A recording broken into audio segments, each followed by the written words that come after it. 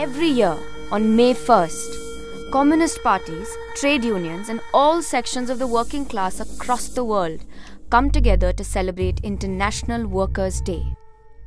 May Day honors the struggles of generations of workers and pays homage to comrades who sacrificed their lives for a better world. The story of May Day begins in the 18th and 19th centuries. At the peak of the Industrial Revolution, factories were booming and capitalists were flourishing.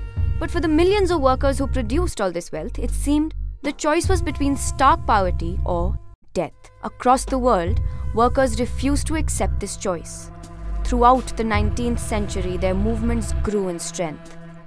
In 1848, Karl Marx gave the iconic call the proletarians have nothing to lose but their chains. They have a world to win. Workers of all countries unite. In the following decades, workers' organizations became a powerful force worldwide. The slogan was 8 hours for work, 8 hours for rest, 8 hours for what we will. The struggle was to begin on May 1, 1886, in Chicago. On that day, 80,000 protesters gathered at Michigan Avenue. Protests were organized on May 2nd as well. But on May 3rd, the police attacked and killed picketing workers at the McCormick Reaper plant at West and Blue Island Avenues. On May 4th, a bomb exploded at a protest gathering to condemn police brutality.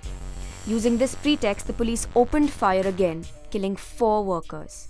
In 1886, August Spies, Adolf Fischer, George Engel, and Albert Parsons were hanged on charges of involvement in the bomb explosion. Their trial was marked with irregularities. The cause of the 8 hour workday, however, continued to inspire workers.